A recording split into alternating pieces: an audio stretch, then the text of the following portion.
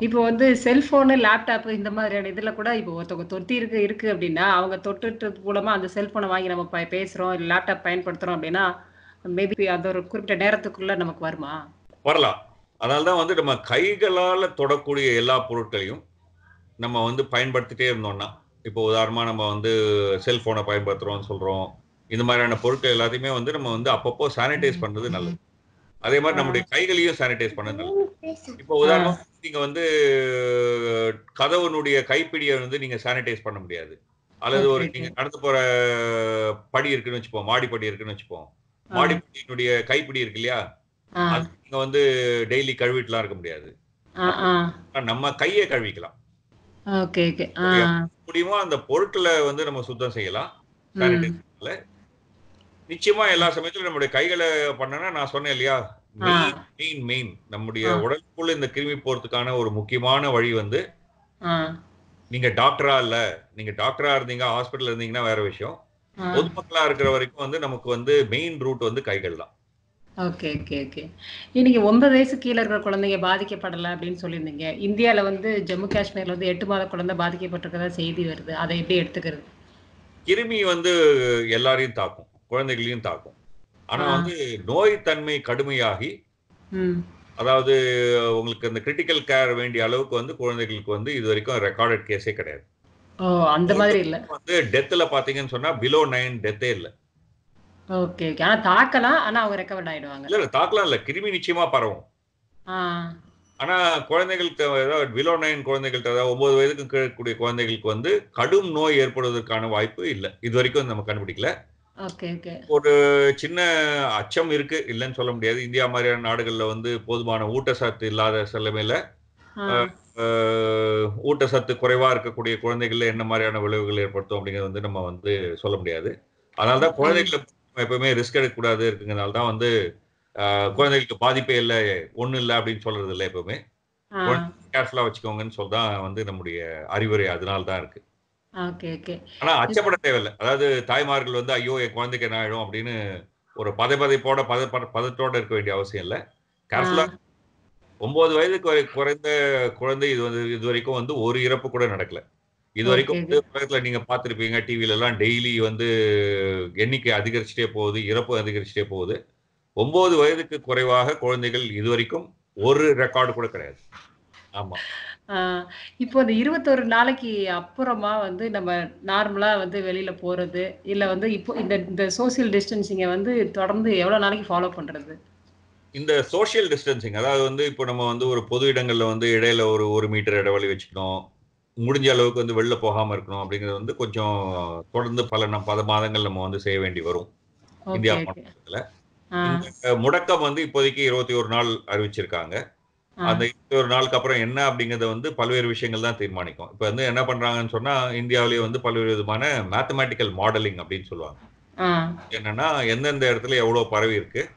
அந்த தகவல வச்சு எதிர்காலத்துல எவ்வளோ பரவுவதற்கு வாய்ப்பு இருக்கு அப்படின்னு நம்ம வந்து கணிக்கலாம். அந்த கணிப்பின் அடிப்படையில் தான் வந்து நம்ம வந்து இந்த தீர்மானங்கள் அதாவது முடக்கத்த வந்து என்ன பண்ணணும்? எல்லா இடத்துலயும் பண்ணணுமா? ஒரு இடத்துல பண்ணா போதுமா? அது மாரி பல்வேறு விஷயங்கள் வந்து நமக்கு அப்பதான் அந்த தேர்வு செய்வதற்கான ஒரு சூழ்நிலை ஏற்படும். இப்ப இந்த இந்த குவாரண்டைன் டேஸ வந்து நீங்க எப்படி செலவிடுறீங்க? நான் பர்சனலா செலவிடுறது வந்து அஃப்கோர்ஸ் இத பத்தி பல்வேறு தகவல்கள் மக்கள் கேட்கறாங்க. ஸோ அதுக்காக திரட்டி, அது. மாதிரியான உலகத்துல இருக்கக்கூடிய பல்வேறு விதமான ஆராய்ச்சிகளை பற்றி படித்து, அதுல ஆராய்ச்சி பண்றவங்கள்ட்ட வந்து எனக்கு இருக்கக்கூடிய சந்தேகங்கள வந்து தெளிவுபடுத்திக்கிட்டு. அத வந்து பொதுமக்களுக்கு எளிதா சொல்வது என்னுடைய ஒரு முக்கியமான ஒரு வேலை. ஸோ அதனால அது ஒரு விதமா நான் பயன்படுத்துறேன். ஆ. 2வது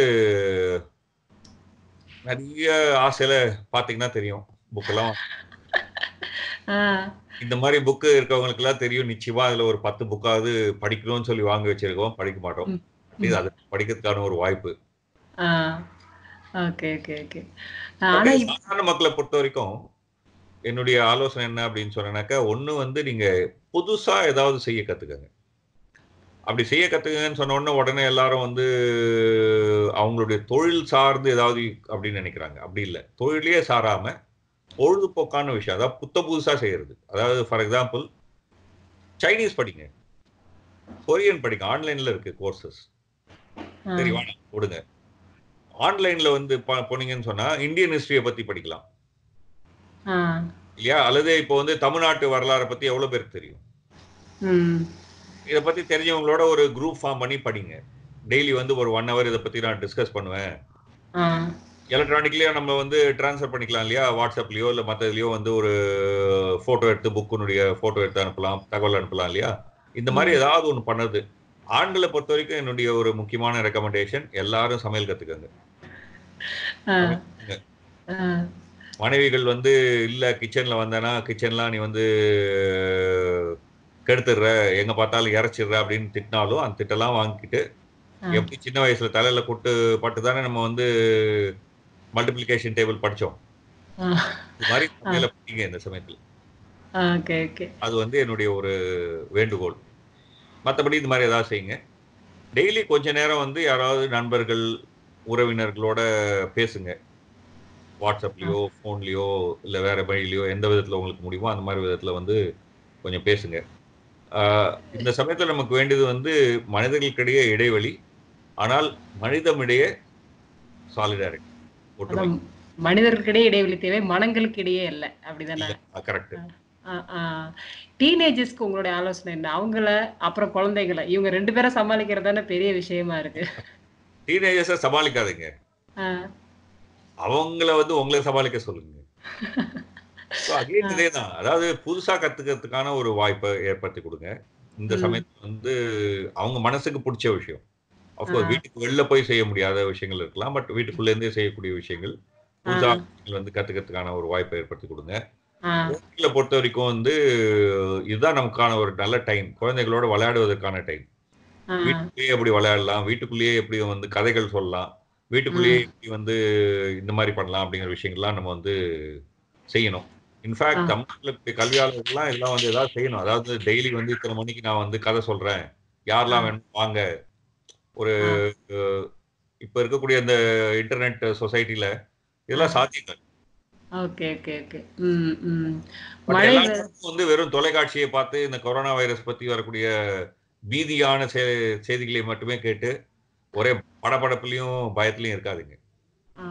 முக்கியமான விஷயம் இந்த நேரங்கள்ல நீங்க சொல்ற எல்லா விஷயம் ஓகே இருந்தாலும் இந்த மூணு நாலு நாளைக்கு மேல இருக்க முடியல. வர்ற மீம்ஸ் எல்லாம் பாத்தீங்கன்னா இப்ப படையப்பா படத்துல நீலாம்பரி பதினெட்டு வருஷம் எப்படி இருந்தாங்க? அது ஒரு படம். இந்த மாதிரி நிறைய வந்து மீம்ஸ் பார்க்கும்போதே தெரியுது மக்கள் மனநிலை ரொம்ப இதுவா இருக்கு அப்படின்னு சொல்லிட்டு. மனநிலை மாற்றங்களை வந்து எப்படி அவங்க சரியா வந்து வச்சுக்கிறது? மனநிலை எப்படி சரியா வச்சுக்கிறது? இல்ல அதான் நான் சொல்ல வந்தேன். அதாவது இப்போ இந்த சீனால இந்த குவாரண்டைன் நடந்தபோது அங்கேருந்து ஒரு ரெண்டு மூணு தகவல்கள் வந்திருக்கு. ஒரு அங்க இருந்த ஒரு அமெரிக்கர் அங்கேயே. குவாரண்டைன்ல அவருடைய ஃபேமிலியோட இருந்தாரு. அவர் வந்து அவருடைய அனுபவத்தை வந்து எதிர்க்காரு. அதே மாதிரி வந்து சீனால இருக்கக்கூடிய ஒரு சீன பெண்மணி அவங்களுடைய அனுபவத்தை எதிர்க்காங்க. அந்த அனுபவங்கள்ல இருந்து தான் நான் வந்து சில விஷயங்களை உங்களுக்கு சொல்ல வரேன். அதாவது ஒரு ஒரு நாள் இன்னைக்கு வந்து விடுமுறை அப்படின்னு நினைக்காதீங்க. விடுமுறைன்னு நினைக்காம ஒரு டேக்கு ஒரு பிளான் போடுங்க. அதாவது காலைல இத்தனை மணிக்கு நான் எழுந்துப்பேன்? இத்தனை மணிக்கு வந்து இந்த மாதிரி புக்கு படிப்பேன். இத்தனை மணிக்கு நான் வந்து இந்த மாதிரி புதுசா ஒரு விஷயம் கத்துக்கிறதுக்கு முயற்சி பண்ணுவேன். இத்தனை. மணிக்கு நண்பர்களோட பேசுவேன். வந்து வீட்டுல நாங்க எல்லாம் சேர்ந்து உட்கார்ந்து விளையாடுவோம். இந்த மாதிரி வாட் எவர் இட் இஸ் அந்த மாதிரி ஒரு குடும்பத்துல எல்லாரும் சேர்ந்து ஒரு பிளான் போட்டோம்னு சொன்னா நாட்கள் நகர்ந்து போவது மட்டும் இல்ல ஆக்சுவலா நம்ம வந்து ஒரு பயனுள்ள முறையில இந்த டைம் பயன்படுத்தும் பயனுள்ளனா மனசுக்கு பயனுள்ளதா? எல்லா. பயனும் வந்து ஒரு பொருள் பயனா இருக்கணும்னு அவசியம் இல்ல. மெட்டீரியலிஸ்டிக்கா இருக்கணும்னு அவசியம் இல்ல.